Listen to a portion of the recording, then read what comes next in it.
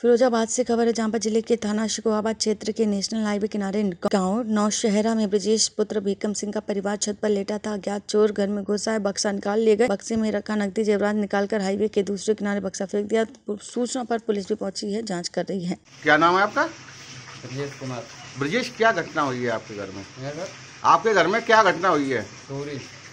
क्या क्या ले गए हैं? बक्सा। बक्सा के अंदर जो सामान रखो हमारी पत्नी का। जी। सारा सामान ले गए। आप लोग कहाँ गए थे? हम साथ छते पर नीचे अंदर चोरी हो गई। कितने का सामान ले गए होंगे? करीब लगे उन्हें सर एक एक डेढ़ लाख रुपया डेढ़ लाख तो करीब और नगद साढ़े बारह हज़ार। फिरोजाबाद से ब्रजेश राठौर की रिपोर्ट।